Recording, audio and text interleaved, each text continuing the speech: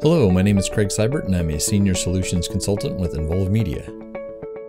Today is the second of four vlogs reviewing the general settings in Adobe Learning Manager. The first section we will look at in part two is the Auto Register User section. If this is selected, every new user added to the system will be automatically registered. This will allow them immediate access to Adobe Learning Manager when they click on the link in the email they receive. Just below that is Auto Delete Internal Users. Here you can set an amount of time that is longer than 30 days in the option box. If a user does not access the system within that set time, they will be deactivated from the system and will need to be reactivated by an administrator. This will not remove the user's data in the system, but just not allow them access. Show Catalog Labels allows you to add custom catalog indications on courses, learning paths, certifications, and job aids. If this is not active, you can still create custom catalogs, but courses cannot be added to those custom catalogs while they are being created.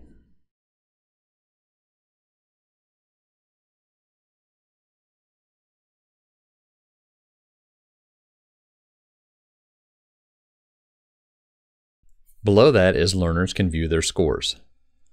Learners have the option of downloading their transcripts from their profile settings. With this option turned off, they will still be able to get their transcripts, but will not be able to see any of the scores on any quizzes taken. If you turn this on, they will have all the regular data and an extra column showing test scores if applicable. Next is Digest Email. Enabling this will allow the learner in your system to receive a biweekly digest email showing a good cross-section of their learning activities within Adobe Learning Manager. If you would like the frequency to be different, you can move to the email template settings and then go to the Settings tab and down to the Digest Email Settings area. And then you can edit the frequency. After Digest Email is the Enable Course, Learning Path, Certification Job Aid Cards icon section.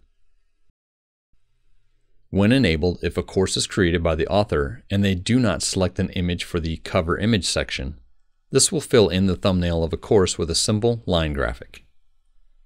This will be random in nature and will be a simple graphic that is business or learning related.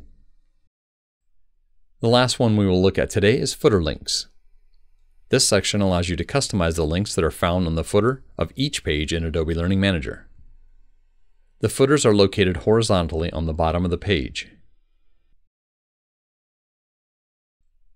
The help and contact admin fields are required fields, but any fields after that are optional. You can add extra fields, replicate, or even reset the fields if necessary.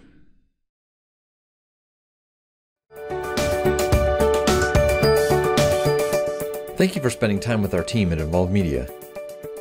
You can find more information on our company and service offerings at envolvemedia.com or by emailing us at sales at envolvemedia.com.